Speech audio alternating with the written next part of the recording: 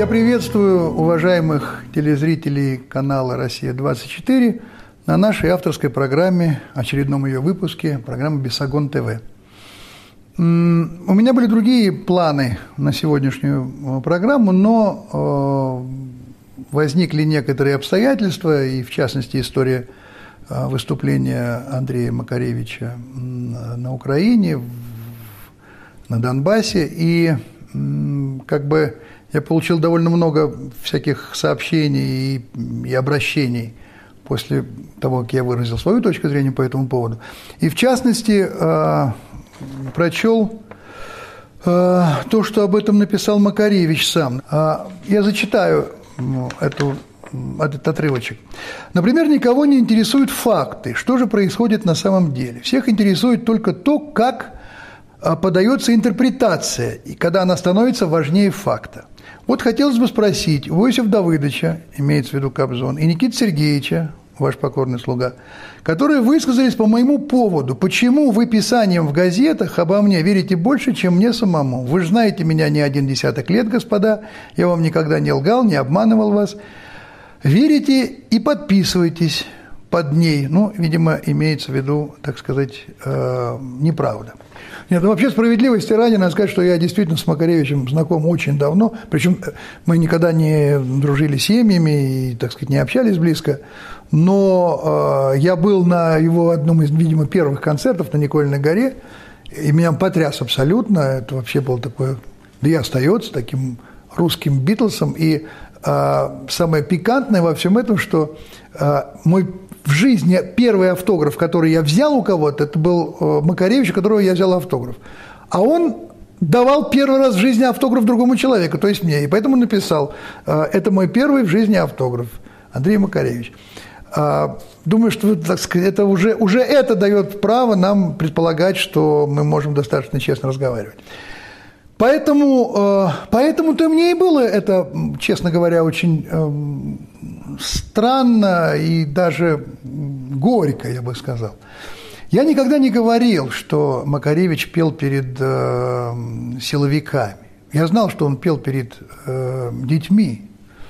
Но вы понимаете, вот тут есть та, та, такая м, степень, м, такой, такой секреты Полишинеля. Вроде бы э, то ли он шубу украл, то ли у него сперли, так сказать, такая невнятность. Потому что что значит петь перед э, детьми на территории, которая, э, так сказать, захвачена э, хунтой?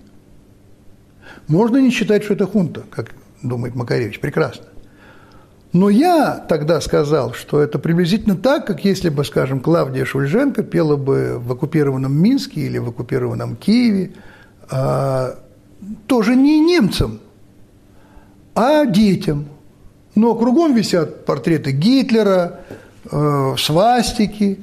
Собственно, аналогия довольно близкая. Висят флаги Бандеры, э, символика его, портреты Бандеры, и, так сказать, под его именем все это как бы происходит. Невнятная определенность, э, а, она всегда видна. При том, что когда у самого Макаревича спросили э, по радио или не помню каким образом по телефону, а стал бы он петь э, э, ополченцам э, Донбасса, тем, кто на другой стороне, так сказать, находится баррикад. Вот что он ответил. Если вас позовут вот э, туда, там, где ополченцы, вы тоже поедете? Не знаю, я не симпатизирую ополченцам. То есть, да, мы сразу видим, на чьей стороне симпатий Макаревич. Имеет он на это право? Конечно, безусловно, имеет. Он художник, это его точка зрения, он гражданин. Но тогда возникают совсем другие вопросы. Вопросы достаточно, так сказать, явных э, двойных стандартов. Если ты так относишься к этому – и в этом случае я зачитаю вам интервью Макаревича, довольно определенное, то тогда зачем же ты берешь награды у тех, кому ты так относишься? Почему ты пользуешься всеми теми благами, которые тебе дают по заслугам, но все равно те люди, которых ты не уважаешь и осуждаешь. Вот послушайте. В этом коротком интервью мы попытались выведать у Андрея Вадимовича истинные причины его позиции по Крыму. Макаревич, Крым не наш, корреспондент. Андрей Вадимович, сейчас для вас не лучшие времена. Могли ли вы когда-нибудь представить, что окажетесь в опале не у государства, а у простых людей, и что причиной будет вхождение Крыма в состав России? Почему вы не поддержали воссоединение Крыма с Россией? Макаревич, не было никакого воссоединения была банальная оккупация чужой территории. Воссоединение – это добровольный акт, а в Крыму было насилие над Украиной. Зверское, лицемерное насилие над страной, которая пытается вырваться из лап русской цивилизации. Да и цивилизация ли это? Русская в смысле. Тоже вопрос. По мне – нет – это просто территория много веков, диктующая со своим соседям, как надо жить. А соседи не хотят жить, как мы. Ну, не хотят, и все тут. Они хотят жить, как Бельгия, Франция и Швеция.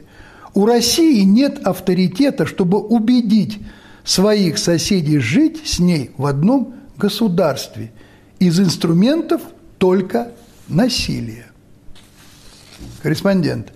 Но Крым не стал настоящей Украиной даже за 60 лет пребывания в ее составе, и большинство людей хотели, чтобы Крым стал российским. Вы отказываете им в этом праве? Макаревич, я не отказываю им в праве на ошибку. Вот так, на секундочку. То есть Андрей Макаревич не отказывает огромному, подавляющему большинству населения Крыма ошибиться – они еще сильно пожалеют о своем выборе, если, конечно, признать, что там действительно большинство за Россию. Корреспондент, вы сомневаетесь? Я скорее не доверяю никаким референдумам, проведенным под дулами автоматов. Так не бывает. Этому ужаснулся весь цивилизованный мир. Так нельзя себя вести в приличном обществе. Мы еще раз показали миру, нам нельзя доверять. Приличное общество цивилизованного мира – это какое общество? Которое бомбит Ирак, Ливию. Какое-то общество цивилизованное, в котором нам нельзя быть. Притом я прошу внимания, одну секундочку, дорогие телезрители.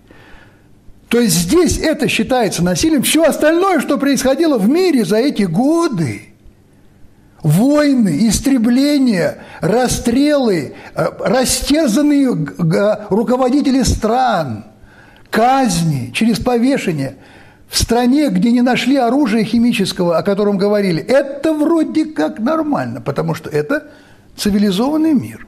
Пойдем дальше. Нам нельзя доверять. Там можно. Корреспондент, а почему цивилизованный мир не ужаснулся, когда Киев был охвачен страшными беспорядками, которые привели к жертвам и к тому, что на Украине называют революцией, но этот же мир был страшно огорчен, что Крым вдруг уплыл из их рук без единого выстрела, что очень важно отметить, между прочим. Конечно, огорчен. Ответ. Даже если в Крыму планировались базы НАТО, то ничего страшного в этом я не вижу. Наш флот должен был уйти. Украинское государство имело право на такое решение. Это ваше дело, кого вы пускаете пожить в свою квартиру, у кого нет. Соседи это не должно волновать. Елки-палки, елки-палки. Базы НАТО в Крыму нормально. Русский флот должен уйти из Крыма. Русский флот, который столько пролил крови своих моряков – в бухтах, где затоплены огромное количество а, русских кораблей в течение нескольких веков. Я уж не говорю о том, сколько людей погибло а, в течение просто Второй мировой войны, Великой Отечественной войны в, за, за Крым советских русских наших солдат. А, чуть меньше, чем американцев за всю Вторую мировую войну, только за Крым. Этот флот должен уйти, потому что в 1954 году полуграмотный человек с ботинком в руке подарил этот Крым э, своим соотечественникам, так сказать, единокровным. И то ничего страшного. Он просто переехал из одной комнаты в другую, был СССР. Ну, передали это, а это сюда, мало ли, одолжили, приодолжили. Все равно виз нету, границ нету. Но когда это распалось, по большому-то счету, по-честному, по чесноку, как говорят сегодня, надо было вернуть Крым обратно, в лоно. Я хотел обратить внимание на слово, на фразу корреспондента ни одного выстрела. Действительно так. А думает ли Андрей Макаревич о том, что было бы в Крыму, если бы он вовремя не оказался в составе России? Если то, что происходит, вот то, что происходит сейчас на Донбассе, в Крыму, это было бы стократно страшнее, тысячекратно страшнее. Вопрос. Какой же выход из ситуации? Ответ. Выход. Выход только один. Вернуть Крым и оставить Украину в покое. Вопрос. Но если крымчане не хотят возвращаться в состав Украины, то как быть с этим? Ответ. А это не должно вас волновать. Люди могут быть и не согласны, но земля чужая. Ее надо вернуть и забыть все, что произошло, как страшный сон. Только тогда Россия вернется в состав цивилизованных государств. Убеждайте соседей быть с вами не с помощью автоматов. Предложите что-то такое, от чего никто не сможет отказаться. Есть что-нибудь подобное у России? По-моему, нет. А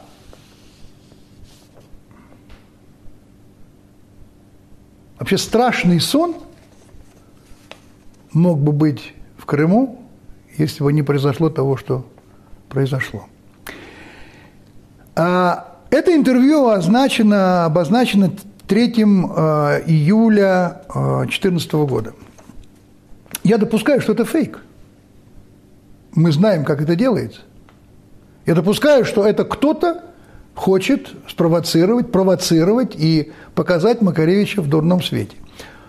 Но это перепощено такое количество раз, что Макаревич не мог этого не знать, если это так. Поэтому он обязан был если это не так, сделать все, чтобы больше никто этого не читал. Раз это не сделано, значит, у меня есть основания предполагать, что это правда. Оценка того, что произошло, была довольно жесткая э, по телевидению. Э, комментарий был такой.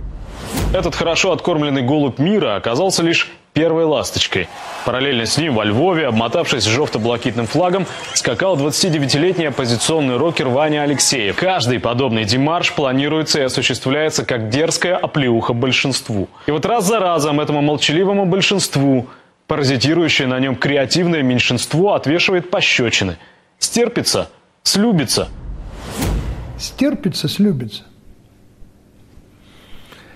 Вот смотрите, насколько это часть нашего сегодняшнего мира, часть нашей сегодняшней жизни. Как можно постепенно приучать к тому, чтобы поговорить, чтобы можно было э, Ленинград сдать. В конце концов, не так важна и Сталинградская битва могла, да и Курская дуга. Можно ведь было по-другому как-то.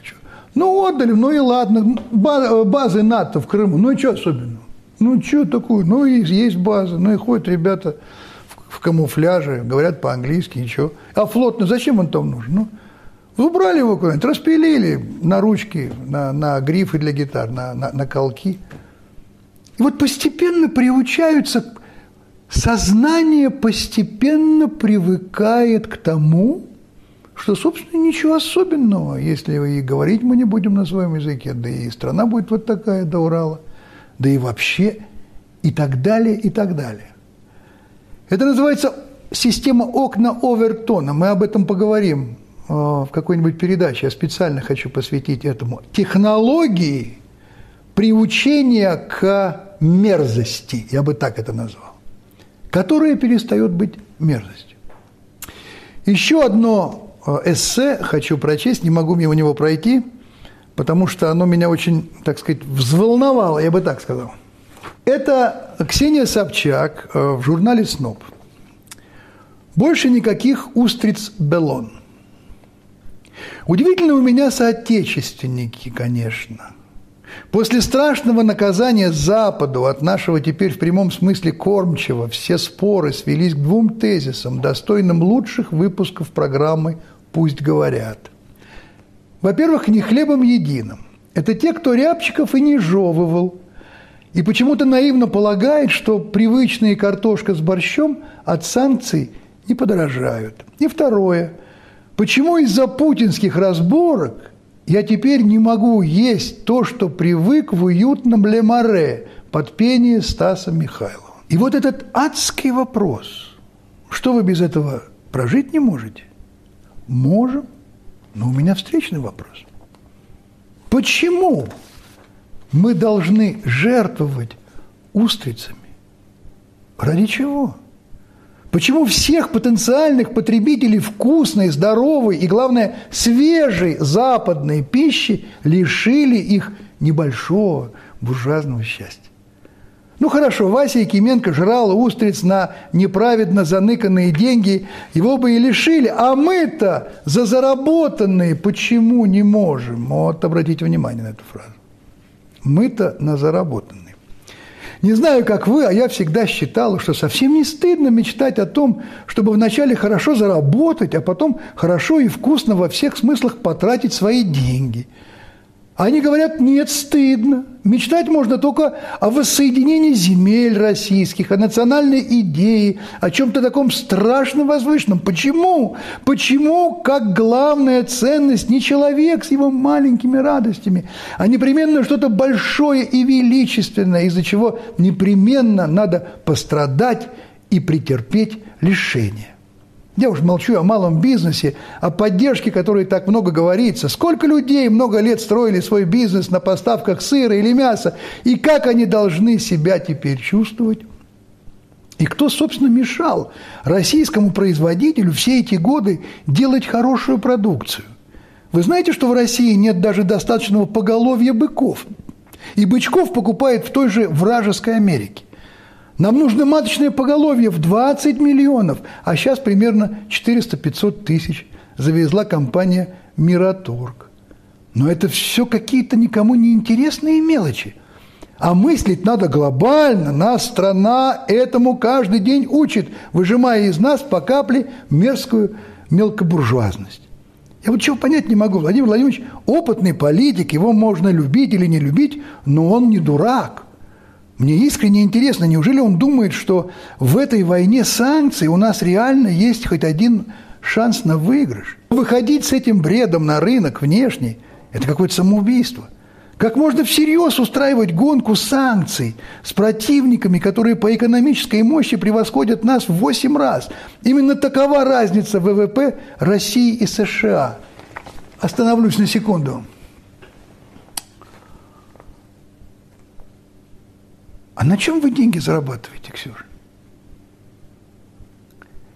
Не на том ли, чтобы ВВП наше было в 8 раз меньше? Не этим ли вы занимаетесь все вместе?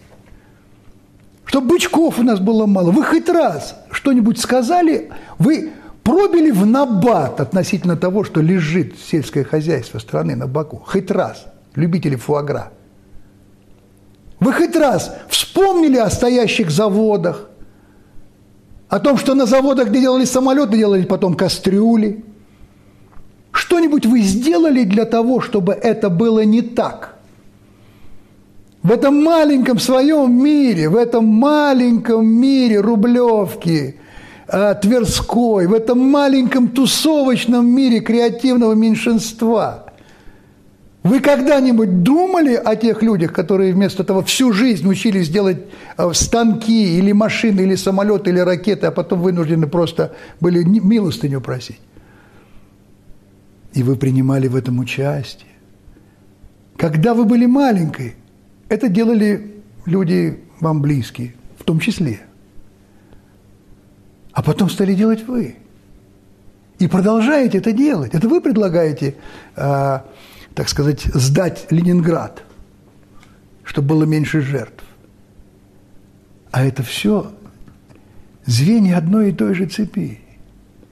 Я не предлагаю вам встать к станку или доить корову. Нет, вы этого не можете. Вы талантливый человек. Но вы изнутри хоть что-нибудь для того, чтобы сконцентрировать ваших соотечественников на том, чтобы они работали на это ВВП, сделали? Нет. В этой стране, где вы клеймите несвободу слова, вы говорите и делаете все – для того, чтобы не случилось то благоденствие, о котором хотелось бы мечтать. Конечно, проще купить на заработанные эти деньги фуагра, батарга, роколу и так далее, а, привезенные сюда. Продолжим. Вопрос даже не в том, что мы не будем есть устриц, а в том, что без банковских кредитов страна начнет разоряться. Деньги закончились, приходится сворачивать накопительную систему пенсий, поднимут налог, сделают его прогрессивным, люди вернутся к серым и черным схемам, ибо для того, чтобы иметь высокие налоги, надо и госсистему иметь высокоэффективную. Государство начнет срубать бабло на налогах, на недвижимость ее сложнее спрятать, инфляция выйдет из-под контроля и так далее, и так далее. Милая вы моя, как вы правильно в этом разбираетесь? Но у меня опять возникает вопрос – а вы что-нибудь сделали, кто, кроме того, чтобы разрушать, а не строить? В итоге за крымские выдрючивания заплатит каждый. А? Фигура речи. Сперва те, кто побогаче, потом и остальные. Хоть мне, русскому человеку, сама идея «Крым наш» греет сердце, но уже не настолько, чтобы за это платить из собственного кармана. Уверенно, как и многим. Какой-нибудь скромный бизнесмен, вводящий в Россию пармезан, вполне мог радоваться присоединению Крыма и кричать «Крым наш». А сегодня у него остановился бизнес. Радость победы начала стремительно таять. Это потрясающе. Зарабатываем деньги, что вкусно есть, имеем на это право. Хотим кричать «Крым наш», но если за это надо платить, это что это вы решили? Чего это мы должны платить за это? Мы за фуагра будем платить, а вы нам не даете фуагра. А за Крым пусть другие платят. Те, кто за него кровь проливали. Вот пусть они уже заплатили, кстати, Ксюша, они уже заплатили. Жизнью своей заплатили. Далее. Как мы оказались в этой точке? Заметили, как стремительно это произошло? Что дает вам надежду, что еще через месяц-два не введут выездные визы, и каждый, защищающий ценности западного мира, не будет объявлен врагом народа. Итак, вопрос в студию. Вот он. Если вы будете знать, что завтра закроют границы, вы уедете, вскочив на последний поезд Москва-Рига, или останетесь? Я вот ответила и сплю спокойно. Я понимаю, что раковая опухоль страны перешла в последнюю стадию. Нет смысла накалывать больного недействующими лекарствами, что-то предпринимать и бороться. Я смиренно жду финала всей этой увлекательной, но грустной истории. Никаких больше устриц Белон. Спи спокойно, дорогой товарищ, хочется ответить на это. Но вот вы знаете, бесстрашный человек, Ксения. Вот вы знаете, вас, при, вас приучила свобода нашей несвободной, по вашему представлению, страны, к тому, что вы, вы даже не задумываетесь, что вы говорите. Вы просто нормально вас тащит, так сказать, вы даже не задумываетесь. А вы не хотели бы вот эту, с этой речью выступить вот перед этими людьми? Рассказать им про устрицы, про то, как вы огорчены. Вам не хотелось бы выступить э, на заводе «Калибр», скажем, или э, на ферме, где работают с 6 утра до 12 ночи? Рассказать им о своей беде, о своем несчастье, что вам приходится платить за Крым, что вы боитесь, что закроют визы, и вы не сможете впрыгнуть в последний поезд Москва-Рига. Предел мечтаний. Теперь я понимаю. Когда-то Столыпин сказал, что вам нужны великие потрясения, нам нужна великая Россия. Я ее перефразировал, эту фразу. Великие потрясения нужны тем, кто, кому есть куда уехать. А великая Россия нужна тем, кто хочет здесь жить. Вот те люди, которые выходят на болотную, недовольные, оскорбленные, униженные, они хотят здесь жить. А кричат со сцены те, кому есть куда уехать. Вот в чем вся проблема. На Майдане вышли, на Майдан вышли люди, которые были недовольны отвратительной властью Януковича. Как их использовали? Кто пришел к власти в результате? Чем это закончилось? И чем это еще закончится? Когда Ксении было лет 10-11, я оказался с моим одним приятелем, а, приглашенным в Смольный а, Собчаком, мэром, и на обед. И мы обедали. Открылась дверь, вошла маленькая девочка лет 10-11 с охранником. Села за стол напротив меня буквально. Поздоровались с ней. Она что-то поковыряла вилочкой, что-то покапризничала и ушла. Мама, госпожа Нарусова, сидевшая рядом, когда дверь закрылась, сказала, знаете, почему она ушла? Я говорю, нет, она обиделась. Я говорю, помилуйте, на что же? Она обиделась, что когда она вошла, никто из мужчин не встал. Когда-то давно-давно Антон Павловича Чехова спросили, как бы он мог коротко определить состояние общества в России. Он ответил очень коротко. Пошлость. Звенящая пошлость. Понимаете, пошло, когда девочка обижается на то, что мужчины не встали, когда она вошла. Пошло, когда в один из высших органов власти входят люди от совсем незнакомой им республики Тыва, в качестве сенатора. И вообще про сенаторов это отдельный разговор. Кто и как туда попадают и что они там делают. Другой разговор. Пошло а страдать по поводу фуагра и устриц и осуждать страну, которая защищается от оскорбительных санкций защищает свой, свой суверенитет, мобилизуется. Пошло осуждать тех людей, которые в Крыму и день и ночь в течение этих 20 лет большинство, подавляющее большинство стремилось и не верило, что они могут вернуться в Россию. И сейчас вернулись. Вы посмотрите на эти лица там, в Крыму. Пошло. Вы знаете, пошло выступать на оккупированных территориях и делать вид, что это, так сказать, э, собственно, э, такая гуманитарная помощь. Все видно, это пошло. Вот это писать, это пошло. И я очень верю, я очень верю, что то, что происходит сейчас, это определенного рода отрезвление от всего того, что вы, дамы и господа, здесь делали и делаете. Ну, а, так сказать, закончить хочу такой шуткой народной, э, фольклором на злобу дня. Как народ наш реагирует, я думаю, правильно реагирует. С юмором, иронией, самоиронией и весело. А частушка такая – а, мой миллионок от тоски ночью нюхает носки, проклинает санкции, любит сыр из Франции. Всего доброго, до следующей встречи.